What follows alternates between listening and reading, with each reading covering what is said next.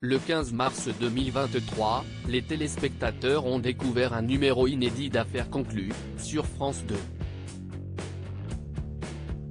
Claudine, un retraité originaire de Normandie, participait pour la première fois à l'émission présentée par Sophie Davant afin de vendre un tableau de Victor Adam, datant de 1933. Et on peut dire qu'elle a fait une bonne affaire grâce à un conseil de l'un des acheteurs.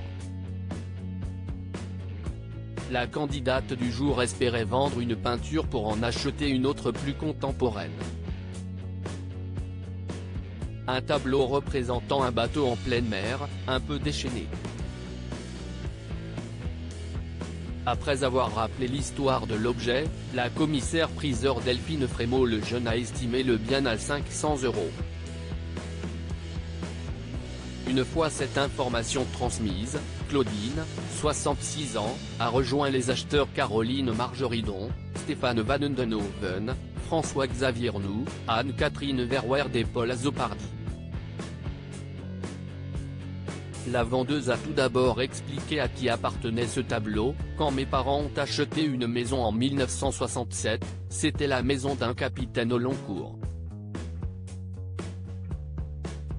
Des peintures sont restées dans la maison et les enfants n'étaient pas intéressés.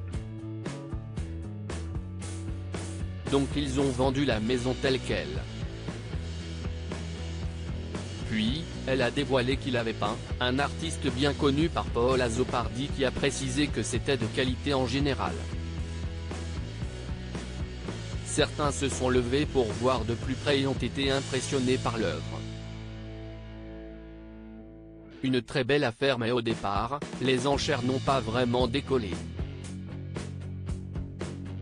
Elles sont parties de 200 euros avant de monter à 520.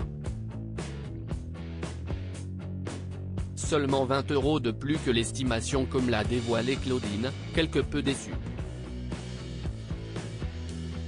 Face à la tristesse de Claudine, François-Xavier Nou lui a donné un petit conseil pour faire monter les enchères, vous savez si vous en voulez un petit peu plus, il suffit juste de regarder Stéphane et de lui demander.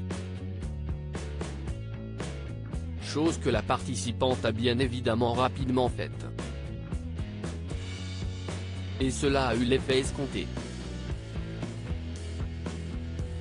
Si au départ, Stéphane Van Neudenhoven n'a surenchéri que de 30 euros supplémentaires, cela a vite grimpé quand Paul Azopardi s'en est mêlé.